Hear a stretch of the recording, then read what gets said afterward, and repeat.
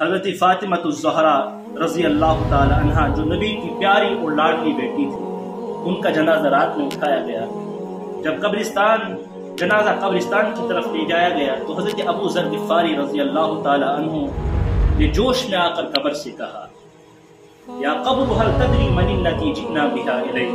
هذه بنت رسول اللہ. هذه الزوجة علی المرتضى هذه ام الحسنین. هذه فاطمہ الزہرا اے قبر، کہیں تو جلدی میں آ کر ان کی شان میں گستاخی نہ کر بیٹھنا۔ یہ بیٹی ہے رسول اللہ کی۔ یہ زوجہ ہے علی المرتضی شیر خدا کی۔ یہ ماں ہے حسنین کی۔ یہ فاطمہ الزہرا ہے۔ کہیں تو جلدی میں آ کر ان کی شان میں گستاخی نہ کرنا، نہ کر بیٹھنا۔ قبر سے آواز آئی۔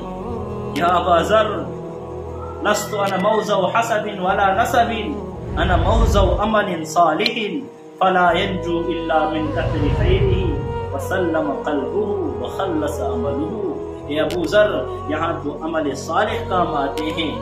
یہاں تو وہی آرام پاتا ہے جس کا دل مسلمان ہوتا ہے. جس کے پاس نیک صالح اعمال ہوتے ہیں، وہی شخص یہاں کامیاب ہوتا ہے۔ میرے دوستو، میرے بھائیو آخرت ہمارا ٹھکانہ ہے۔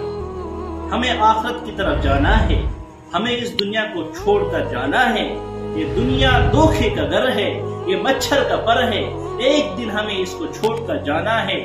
لہذا میری آپ حضرات سے ہی گزارش رہے گی کہ آخرت کے لیے کچھ تیاری کرتے جائے اللہ تبارک و تعالی مجھے اور ہم سب کو ان کہی ہوئی باتوں پر عمل پیرا ہونے کی توفیق عطا فرمائے اور ہم سب کو آفت کی تیاری کرنے کی توفیق عطا فرمائے۔ وما علینا الا البلاغ المبین۔ السلام